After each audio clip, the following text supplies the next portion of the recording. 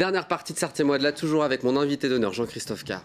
Rebonsoir. Eh ben, rebonsoir. On s'est un peu quitté, mais. euh, Mais on est, je suis pas très loin quand eh même. oui, c'est l'heure du face-à-face. Exactement. Euh, animateur de télévision et puis organisateur de ce premier Geek Live Festival samedi et dimanche au Forum euh, du Centre des Expositions du Mans.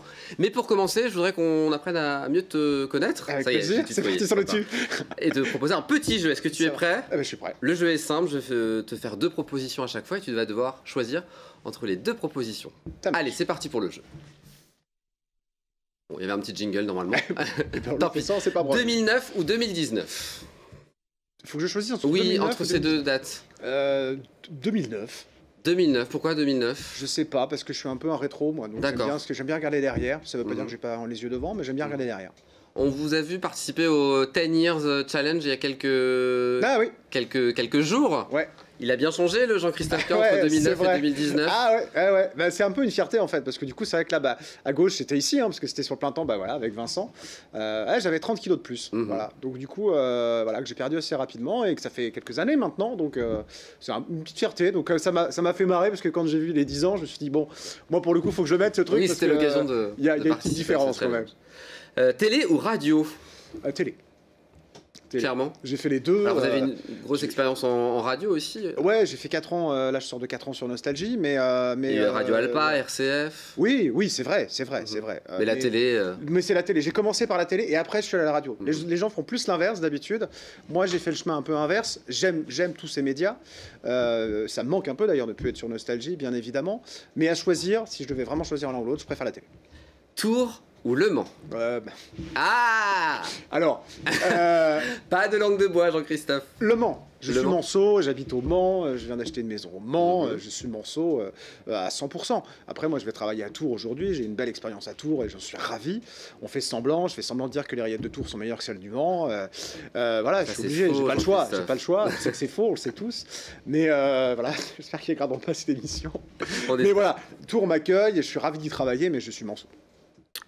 Très bien. Euh, musique ou geek Ah, alors ça, c'est ça, c'est pas gentil. Ah oui, Euh, parce que Ouais, c'est un présenté il y a plus qu'à quand même une Ouais, ouais, euh, moi je suis, musicale. music- moi, Un je suis peu- musicien à la base, j'ai fait 10 ans de Mhm. conservatoire en piano, euh, donc j'adore la musique et j'adore les geekeries. Alors là, c'est compliqué. Choisir, Ah. pff, pas facile. Hein. Geek peut-être? Allez, geek, on va dire, pour le, par rapport au, au sujet qui nous intéresse aujourd'hui. Alors, il va falloir m'expliquer le- ce terme geek. Pour moi, c'est un peu ce petit, on va le voir en image, ce petit boutonneux à lunettes euh, qui passe un peu trop de temps devant. C'est pas moi, y a pas l'image. Non, non, mettez l'image s'il vous plaît en régie.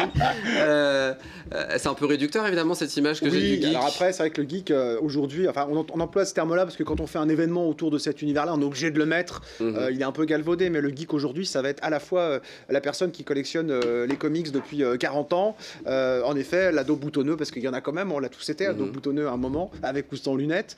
Euh, mais le geek, il est, il est varié. C'est quelqu'un qui va aimer Retour vers le futur, c'est quelqu'un qui va aimer les jeux vidéo, et où C'est-à-dire, c'est pas Mhm. obligé. Oui. Voilà, c'est quelqu'un qui va regarder Netflix, euh, qui va adorer les séries. euh, voilà, c'est c'est très varié ce qu'est un geek. Et elle existe depuis quand cette passion euh, pour cet univers Moi, je suis né avec, euh, avec euh, les jeux vidéo, en l'occurrence, qui ont fait grandir. Je suis un millénial, c'est-à-dire que je suis arrivé de ceux qui ont grandi Mhm. avec les consoles. Elles sont nées en même temps que moi. L'ordinateur est arrivé en même temps que moi.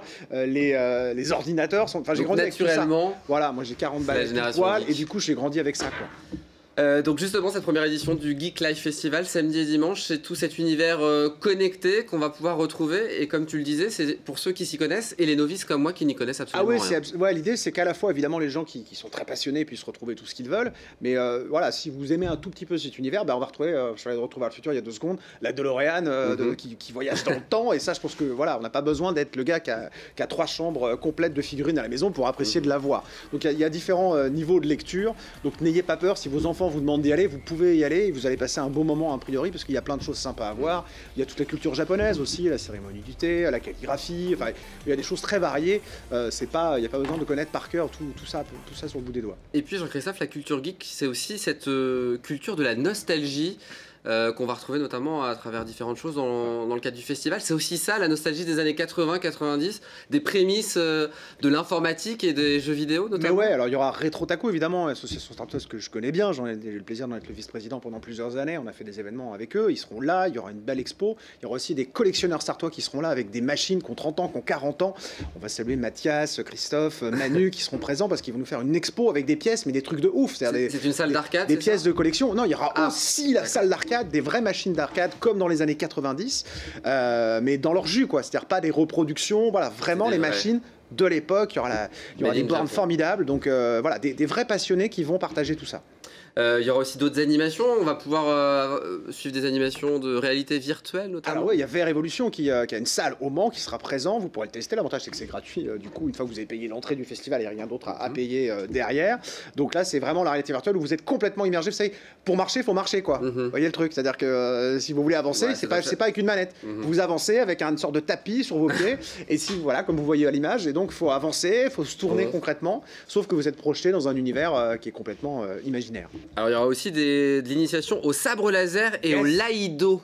Yes, du yado. Du Ah, pardon. yado. Du Non, mais c'est pas grave, mais c'est pour que voilà, euh, Pierre Covin qui, qui fera ça. Voilà, c'est un art martial japonais avec euh, des sabres, voilà, qu'on dit. Mais c'est super, exactement, c'est ça. Alors ça, c'est vraiment un art martial traditionnel, voilà. Euh, donc là, il y aura des démonstrations et vous pourrez tester. euh, Rassurez-vous, de manière très encadrée et avec sécurisée, voilà, parce que ce sont des sabres quand même. Donc ça, c'est le, le yado, donc c'est plutôt le côté traditionnel. Mhm. Puis il y a le sabre laser, et là, le sabre laser, c'est aussi un maître d'escrime, c'est Eric Davy qui est Qui est au vraiment quelqu'un qui voilà, qui est au Exactement. Et là, pour le coup, c'est euh, reproduire euh, Wow. un combat de sabre laser. Alors euh, voilà, ça c'est les tops mondiaux hein, de, de, de fou avec des effets. Mais voilà, on- vous pourrez apprendre, ça qui est sympa, on va vous expliquer comment faire, comment faire un combat de sabre laser. Avec le bruit et tout, c'est Et puis là où c'est intéressant, c'est que du coup, c'est des gens du, du local qui vont être là aussi. L'initiation au, au sabre laser, on se dit ça se passe pas chez nous et pourtant c'est chez Eh nous. oui, tu m'as posé la question tout à l'heure. voilà, de- je suis du Mans et moi j'ai intégré au maximum les gens du Mans. Voilà, il y a la Japan Zone qui est du Mans, il y a Retro Taku qui est du Mans, il y a l'escrime, le Yado aussi, ils sont du Mans, ils sont Mhm. à Samurai 2000.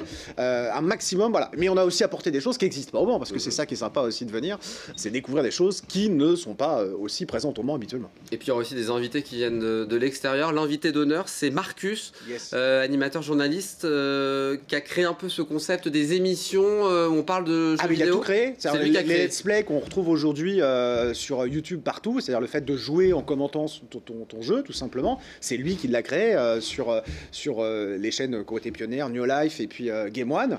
Enfin, Game One d'abord, puis New Life. Et du coup, il a tout inventé. Il a inventé tout ce qui se fait aujourd'hui de jeux vidéo. C'est, il en est à l'origine. Il est un petit peu plus vieux que moi encore et il a tout connu. Et ce qui est bien, c'est que les, les plus vieux comme moi le connaissent, mais aussi les plus jeunes parce qu'il est encore aujourd'hui tous les jours à la télé sur Game One. Donc, il est incontournable. Euh, et puis il y aura d'autres euh, invités comme une vice-championne de Just Dance. vice-championne du monde de Du Just monde. Dance. Exactement, du Dina. monde. Ouais, ouais, c'est Dina qui est, euh, qui est euh, une championne. Euh, alors, elle était déjà venue en, en Sarthe. euh, Je vais saluer les amis du salon de jeux vidéo de la Flèche qui sont partenaires du- du- de l'événement.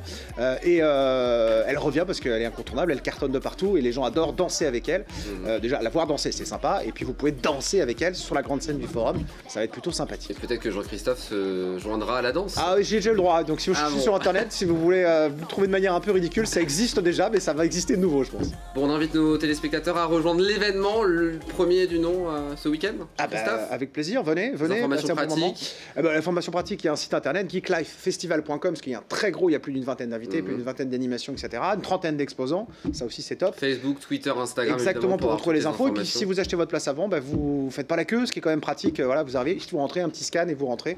Et c'est seulement 9 euros, ce qui est pas cher. C'est beaucoup moins cher que les festivals qui se font dans les villes d'à côté. Je tiens à le préciser. 2 et 3 février, le Geek Live Festival, premier du nom. Merci Jean-Christophe d'avoir Merci, été mon invité. À bientôt. À bientôt, avec plaisir. Un Et plaisir merci à vous de nous avoir euh, suivis. Très bonne soirée à vous. Faites attention car il risque de neiger. On se donne rendez-vous demain 18h30 pour une nouvelle quotidienne. Ciao